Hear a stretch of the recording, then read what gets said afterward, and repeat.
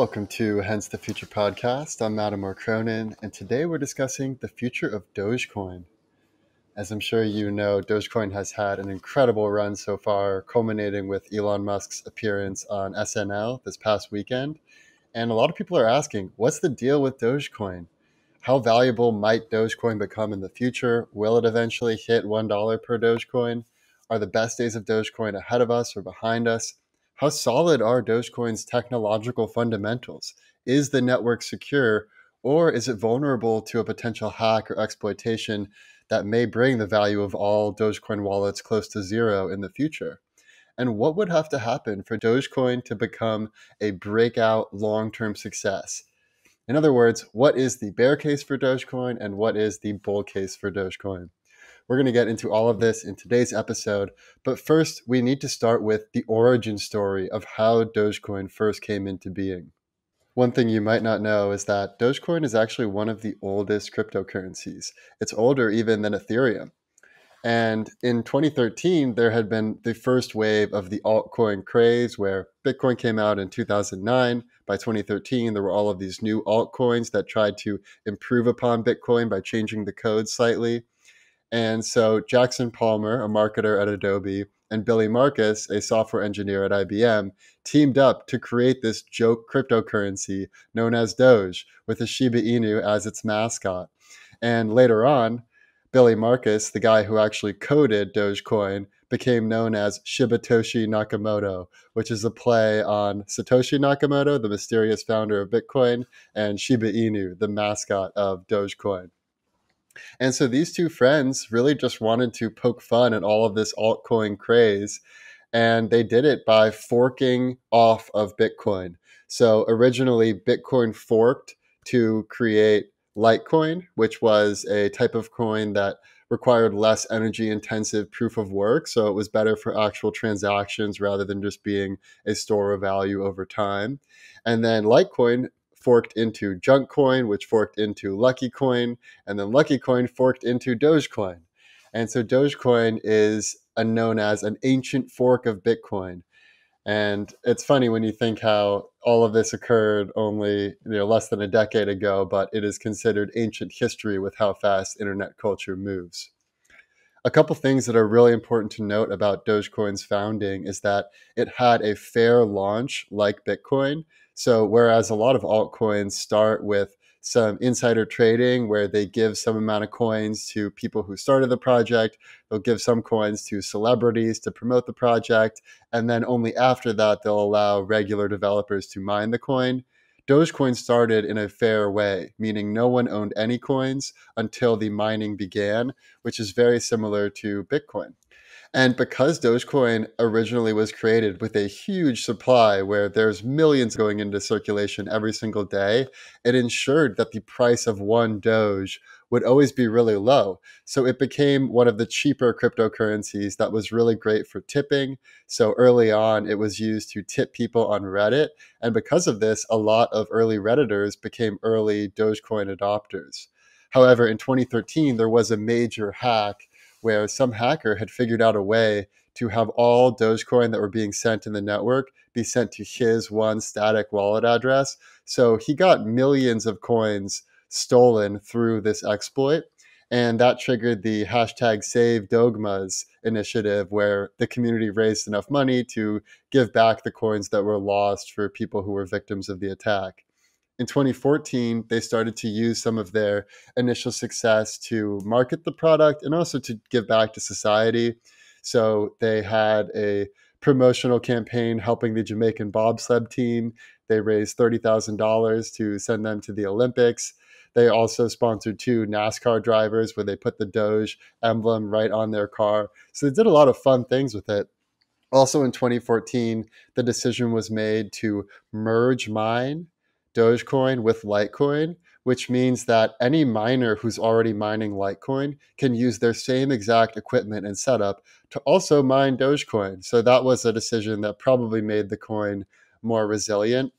However, in 2015, there had been enough hype in this crypto space and specifically enough hype around Dogecoin that both of the founders started to feel uncomfortable with where this was heading. And so in 2015, both founders exited the project. And they said that originally they created it, quote, for sillies. And now they felt that the culture of speculation and people trying to get rich and people betting $20,000 of their life savings made them feel uncomfortable. And it felt like the culture was becoming toxic. It was becoming a little bit too greedy. It didn't have the same sort of fun, altruistic motives that it did originally. So, very much like how Satoshi Nakamoto, the founder of Bitcoin, disappeared from the world in a similar but less extreme way, both the founders of Dogecoin disappeared from the community and they even deleted their Twitter and YouTube channels. So, this is part of the lore of Dogecoin. And while some people might say, oh, it's terrible that this was created as a joke, how can you take this crypto seriously? That's actually one of the biggest selling points because it wasn't created for some set of people to get rich or with any sort of insider trading or celebrity promotions or anything like that. It was created for the purity of the joke. And once the purity of the joke was threatened, the founders left, which is a really altruistic move when you think about it. N- neither of the founders made a fortune on Dogecoin, which is incredible when you look at how much the price of Dogecoin has risen. Now that we've set the stage with the Dogecoin origin story, let's look at the fundamentals.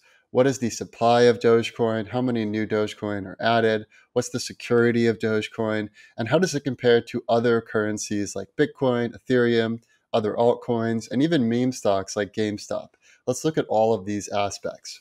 So, with Bitcoin, there is a fixed supply of 21 million Bitcoin. There will never be more than 21 million Bitcoin. That is certain. And Bitcoin approaches an asymptote. So, there are more Bitcoin mined every year, but it decreases and decreases and decreases until the 21 millionth Bitcoin is mined, at which point that's the only amount of Bitcoin that will ever be in circulation. So if every millionaire on earth wanted to own a couple Bitcoin, there would not be enough to go around. And that's part of why Bitcoin is so attractive as a long term investment. Dogecoin is inflationary by contrast. So there is no cap supply for Dogecoin. So in 2015, 5% more Dogecoin were added into circulation. But over time, this decreases. So in 2019, only 4% of Dogecoin were added into circulation. And by 2027, only 3% Dogecoin will be added into circulation. And by 2035, only 2% Dogecoin will be added into circulation. So Dogecoin is not quite as attractive as Bitcoin because it does keep increasing infinitely. However, it's more attractive from an inflationary perspective than the US dollar because most analysts estimate that the money supply of dollars increased by 20% just in the last year. That means 20% of all dollars ever created were created in the last year. So the 4% increase in the Dogecoin supply looks much smaller and much more attractive when you compare it to the US dollar. Obviously, the US dollar has much more staying power. It's been around for a lot longer. It has more trust built into it. It has more people using the dollar. But the upside of the potential reward, if Dogecoin does become a legitimate alternative to the US dollar, is super high. It is probably the most lopsided investment you could make. It could go to the moon or it could go to zero. And part of what makes it, quote, the people's currency is the fact that there are so many in circulation and the price of it is so low. 10,000 new Dogecoin are dug out every minute. That's 14 million Dogecoin per day. And so this is quite a lot of Doge to go around, and it makes it a more attractive currency to use for actual transactions rather than for a store of value like you have with Bitcoin. The other big difference between Bitcoin and Dogecoin is the cultural difference. The typical Bitcoiner is someone who takes himself really seriously. He is all about these Austrian economics principles of sound money and storing value over time and making sure all the ratios are just right, making sure all the code is secure, as they should, because they are dealing with the monetary system, which is serious stuff. And you want to make sure you get everything right when you are suggesting a replacement to our current monetary system. But Dogecoin, on the other hand, is the complete opposite of Bitcoin. People there are doing it for the lulz. They're doing it because it's a fun joke. There's a little bit of nihilism in there, a little bit of wanting to stick the middle finger to the man and feeling uh, like you want to get back at society for having a rigged game that favors the wealthy and people who already own a bunch of assets. So it has that similar kind of mentality to GameStop and AMC and that whole Robinhood meme meme stock frenzy. And also, Dogecoiners tend to be younger than Bitcoiners. So, whereas your typical Bitcoiner is maybe a millennial, maybe you have some Gen X, even some baby boomers, Dogecoin tends to be much younger. It has some millennials, but it's mostly, I would say, Gen Z is where a lot of the influencers are, a lot of the TikTokers, the Redditors, the Wall Street Bets people. Those are all a younger cohort than your typical Bitcoiner. And some Dogecoiners even deride Bitcoin as boomer coin. So even though Bitcoin is this relatively new phenomena that's only existed since 2009, from the Dogecoiner perspective, it's this ancient boomer coin, and the new cool thing is Dogecoin. And when we look at the strength of the Dogecoin community compared to the strength of the Bitcoin community, the Bitcoin community is obviously stronger. It's been around for much longer. But as far as recent activity and just the amount of tweets and stuff like that, Dogecoin may be growing at a faster rate as far as just user evangelism. More than 60% of Dogecoin being held was obtained in the last year. So that's an argument that it might be more vulnerable than Bitcoin because Bitcoin has mostly people who have been holding it for a long time, whereas Dogecoin, most of the people who hold it have only owned it for less than a year. So while there is a strong, thriving community of evangelists for both Bitcoin and Dogecoin, I would say the main worrying point for Dogecoin is the lack of a robust developer community. Bitcoin has a very robust developer community, second only to Ethereum. And there are constantly entities that host a full node of Bitcoin on their servers. There are all of these wallets, there's all this infrastructure behind Bitcoin, whereas there has hardly been any new GitHub developer posts in Dogecoin since 2017. So the big question about Dogecoin is whether there will be renewed interest in actually providing developer support for the Dogecoin network, or if over time it will be open to more and more exploits, more and more hacks, and therefore it will just not be a secure cryptocurrency to store your value over time. And when you look at the comparison, Bitcoin has easily over 10,000 full nodes that run the whole network. So if you wanted to hack Bitcoin, you would have to hack at least 10,000 computers to even have the chance of making some meaningful impact in the network. Whereas for Dogecoin, there's really only like 300 nodes that are fully updated on the network. So it is more vulnerable to a hacker potentially hacking those 300 computers and making some changes, as happened in the 2013 hack. However, there has not been a major hack since 2013. Maybe it is fairly secure as far as cryptocurrencies go. And maybe the fact that there is no captain manning the ship means that it has more staying power than some of these other altcoins that have leaders that might decide to change the code for one reason or another, which might not end up being good for the network. Now let's compare Dogecoin to Ethereum, the second largest cryptocurrency by market cap.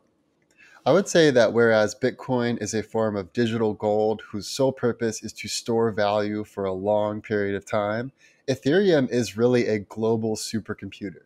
Ethereum powers the entire Ethereum network, which is the foundation of the decentralized internet. So, investing in Ethereum is like investing in gasoline.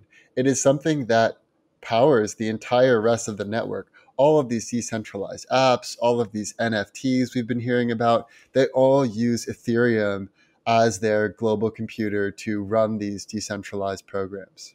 And many people think that Ethereum may actually grow in value at a faster pace than Bitcoin simply because it has more utility and there is a greater economy being built under Ethereum than there is under Bitcoin.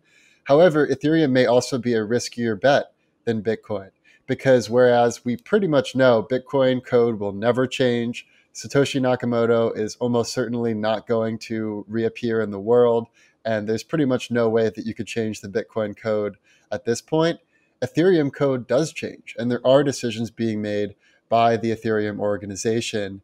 In fact, right now, Ethereum gas fees are really high. So if you want to make any sort of transaction on the Ethereum blockchain, it's pretty expensive to pay those gas fees.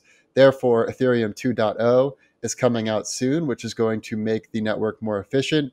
But anytime you're pushing new code out into the internet, you have some risk that something might go wrong. There could be a vulnerability, there could be a hack, there could be a fork.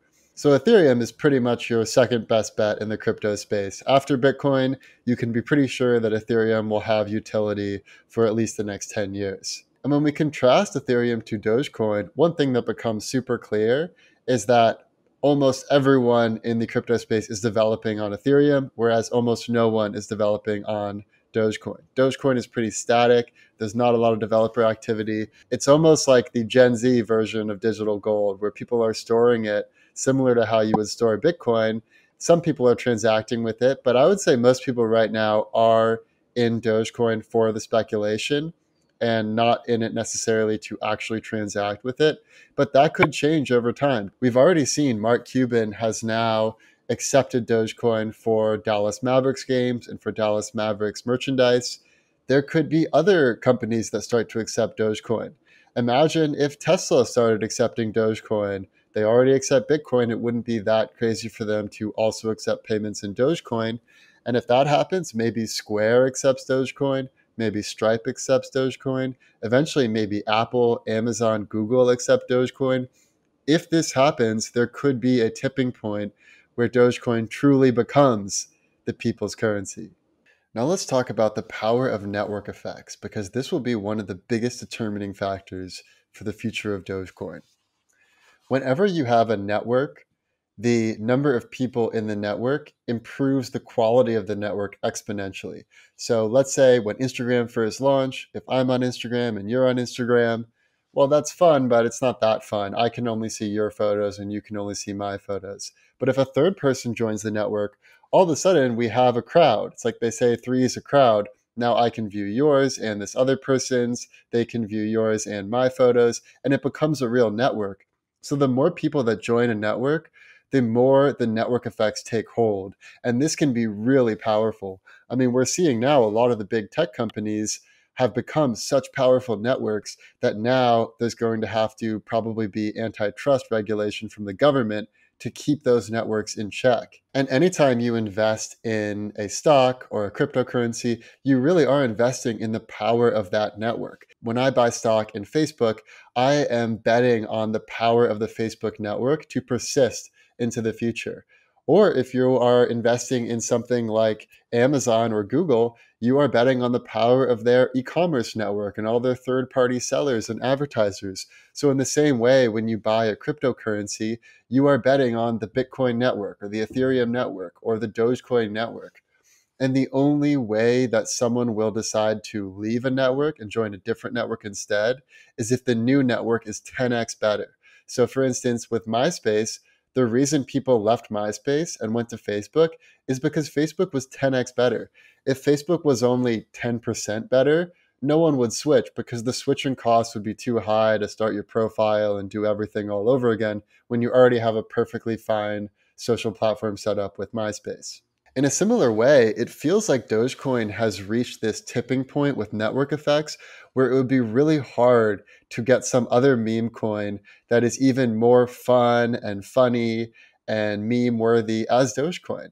Sure, it may not compete with Bitcoin and Ethereum and other more serious cryptos, but for what it offers, as this haven of being fun and doing it for the lulz and sticking it to the man, it's hard to imagine another crypto being 10x better than Dogecoin for what Dogecoin is. So, one thing that is important to note is that we shouldn't discount the power of the Dogecoin community. And we also shouldn't discount the fact that the Dogecoin community overlaps with some other really powerful communities, like the Reddit community, the Wall Street Bets community, the Robinhood community. And there is this growing orb of retail investors that is now threatening the more traditional hedge fund investors and industry stalwarts. And I think we should briefly look at Dogecoin as compared to GameStop because we had a really similar dynamic with the rise of Dogecoin as what we had with the rise of GameStop. So GameStop was trading at like $20 a share and then when all of the Redditors and TikTokers and Wall Street Bets people got behind it, it rose to incredible heights. Yes, it did pop and the valuation did go down, but GameStop is still trading at $160 a share, which is a lot higher than the $20 per share that it started at. So even after it dropped, it has a tremendous valuation. It has an $11 billion market cap, which is huge for the type of mall video game selling company that GameStop is. In a similar way, my feeling is that even if Dogecoin drops significantly, it's never going to drop to zero or to some something less than a penny because the further it drops, the more attractive it becomes as an investment. And those tweets from Elon and all those Dogecoin memes, they're not going away. They will persist on the internet. A lot of people have been wondering why Elon loves Dogecoin so much and why he's been promoting it so much, especially on Saturday Night Live just this past weekend. And one reason I've heard that's really compelling to me is that Dogecoin is a Trojan horse to promote the entire crypto space. It really is a brilliant way to shine a light on the entire crypto space for this new generation of investors. And it's a lot more fun to talk about how great Dogecoin is than it is to talk about how great Bitcoin is, because it is seen as less threatening, it's seen as more of a joke, and it's hard for the SEC or anyone else to fully come after Elon for Dogecoin because Dogecoin is seen as a joke. All right, now let's talk about crypto portfolio allocation. This is probably the question I get the most from my friends and from listeners is what should I actually invest in? Is it worth it to put money into Dogecoin and how should I allocate to Dogecoin compared to Bitcoin, Ethereum and the other altcoins? Well, I can't tell you what you should do. That's a decision you have to make for yourself, but I can tell you how I think about this. And personally, I follow the 99 1 rule of thumb, meaning I keep 90% of my crypto portfolio in Bitcoin, 9% in Ethereum, and 1% in various altcoins. So the altcoins that I think have a real chance at making it are Dogecoin, Binance, and Chainlink. Dogecoin, we already talked about. I think the real strength of it is the meme factor and how fun it is and how it has this really interesting origin story that's almost like the spoof origin story of Bitcoin. That is tremendously valuable. And Binance has a really strong and robust community. The founder of Binance is super active on Twitter. They build a lot of super cool technology. So I think Binance has also hit that network effects tipping point. And then Chainlink is valuable because it is so useful for smart contracts. So, so much of what we do in daily life depends on trust. So when you loan money from the bank, you are trusting in that institution, and that's how they're able to charge some percentage from you. But with smart contracts, you can replace a lot of those institutional brokers to have mathematical formulas that actually take care of that for you. So, Chainlink, I am long on simply for its utility but you should do your own research into altcoins. This ch- this space is changing so quickly, and it is fun to research new coins, come up with a thesis, and place a little bit of small bets on these altcoins. However, I would strongly suggest that you keep your altcoin portfolio to about 1% of your total crypto portfolio so that you don't risk going totally to zero. And I would stay clear of any altcoin that pays celebrities to endorse their product. So I would stay away from XRP, which hired Ashton Kutcher to be the evangelist and gave out XRP to other celebrities. That seems pretty suspicious to me. I would also stay away from Tron.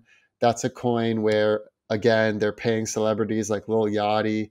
So I would stay away from any coin that is actively trying to promote itself through marketing if a coin is promoting itself for being more useful, that's one thing. But if they're just trying to get you to believe in it because some celebrity bought it, that is a major red flag in my book. There's a couple other rules of thumb that I think are really helpful when you start to think about how to invest in the crypto space.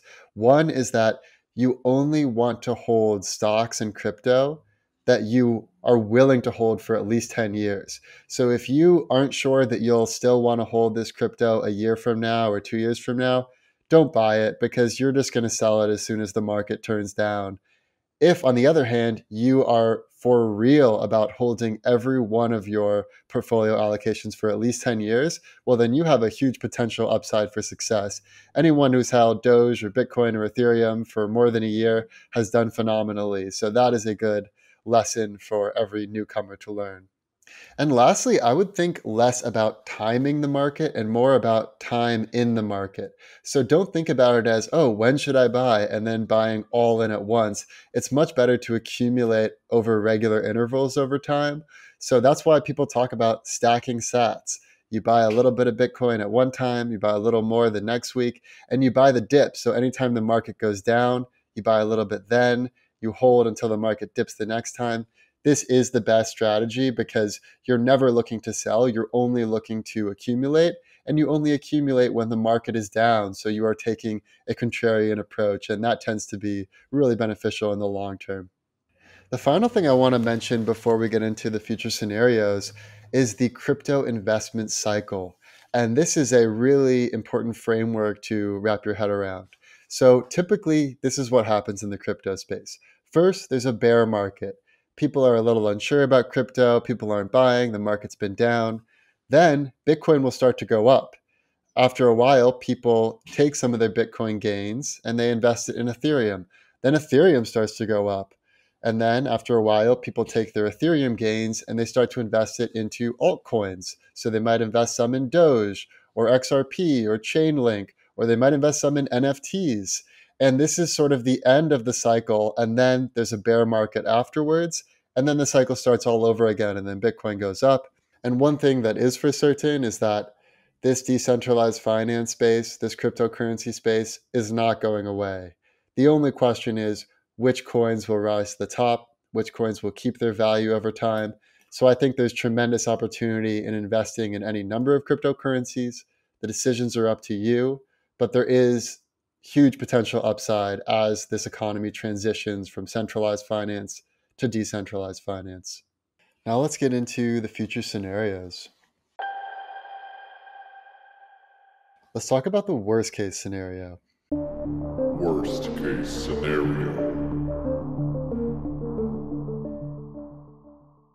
The worst case scenario in my mind is that Dogecoin gets hacked, similar to what happened in 2013 all new Doge transactions are sent to the hacker's wallet or some other exploit occurs, and therefore the value of Dogecoin wallets goes close to zero. It's worth noting that even in this worst case scenario, it's possible that Dogecoin can be resurrected. The developer community could rally behind the network, patch the security flaws, and it could even become a more epic story in the future after having come back from the ashes. So even in the worst case, it might not be the total end of Dogecoin, but I do think that the worst thing going for Dogecoin is the lack of a robust developer community, the lack of security, and the lack of having full nodes on the network in the same way that we see with Bitcoin and Ethereum. Now let's talk about the best case scenario. Best case scenario. In the best case, Doge is never going to replace Bitcoin or Ethereum, but it could become the solid third most used cryptocurrency and the third largest cryptocurrency by market cap. That is quite possible. If the people demand to be able to transact in Dogecoin, it will come to fruition and the big tech companies will allow that as a means of transaction. It really just depends on the will of the people and the security of the network and if those stars align, it very much could become the third strongest cryptocurrency in the entire world. Now let's talk about the most likely scenario. Most likely scenario.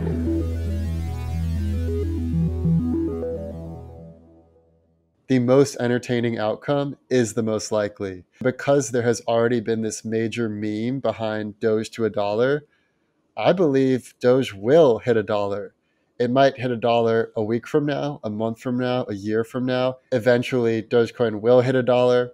And at that point, it might end up being fairly stable at around a dollar, and it might become something that people transact with rather than holding as a store of value. It might end up stabilizing at around $5 or $10. It's probably not going to increase exponentially, but it could become one of the most utilized coins, and there could be tremendous gains over the short and medium term. And I will say, going into this episode, I was expecting to find far deeper problems with Dogecoin. I was expecting there to be some nefarious activity, some even more serious security flaws. But really, after researching Dogecoin and comparing the origin story and the fundamentals of Dogecoin to the other cryptocurrencies in the space, I feel a lot more confident in the currency's potential to survive and thrive in the future. In conclusion, I would say never bet against the internet, never bet against the younger generations Never bet against an entertaining outcome or an ironic outcome because the universe really does love irony, fate really does love irony. And I wouldn't bet against a Shiba Inu based cryptocurrency, especially in the year 2021. I think that's a good place to end it. Thank you for tuning in, and I'll see you next week. The past, the present, and the future.